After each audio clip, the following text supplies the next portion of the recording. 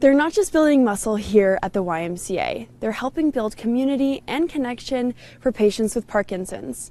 I'm your South Meridian neighborhood reporter, Allie Tripke, with more on the Rock Steady Boxing program that's been helping people with neurological disorders knock out their symptoms.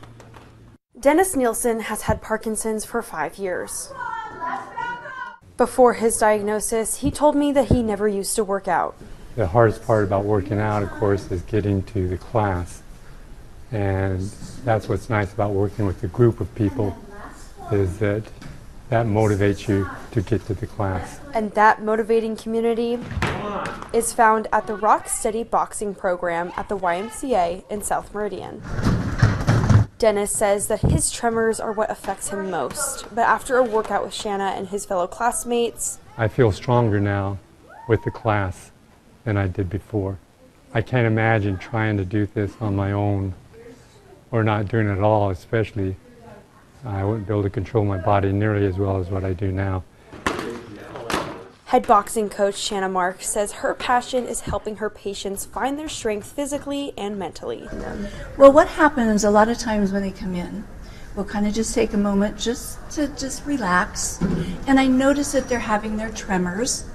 And after we work hard for 45 minutes to 50 minutes, and then we again stand and we just feel and you just see that movement just quiet down.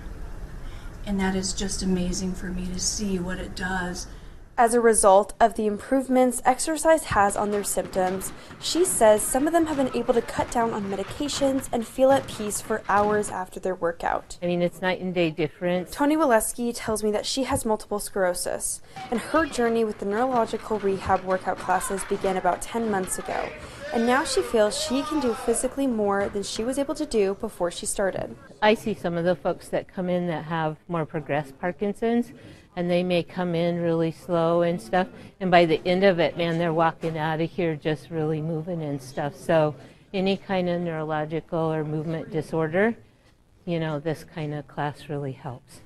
The progress of her patients brought Coach Marks to tears because to her, this program is much more than just a 50 minute workout class.